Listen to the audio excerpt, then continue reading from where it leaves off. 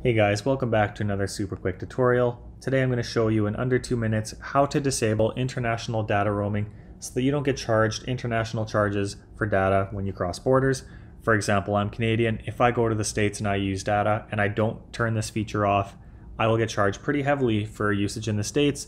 This applies to traveling anywhere in the world though. If you're going on a hot holiday or to Europe or anywhere else, this is a handy trick to know. And of course, you can turn on roaming again if you need it in emergency or if your plan includes it.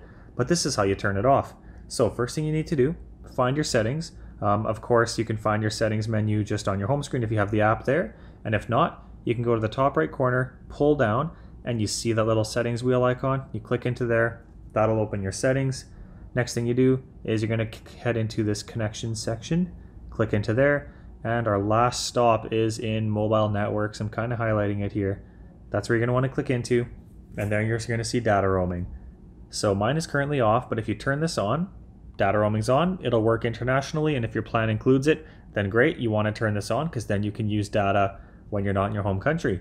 But if you turn it off, like so, your phone will not use data unless you actually turn it back on. So this is super helpful to have turned off basically all the time and by default, but um, it's a good idea to have this turned off, especially if you're traveling internationally and you don't have a really sweet travel plan for data. So there you go. I hope that you found some value out of this, and if you did, I'd really appreciate a like and subscribe if you want to see more quick little tutorials like this in the future. Thanks for watching.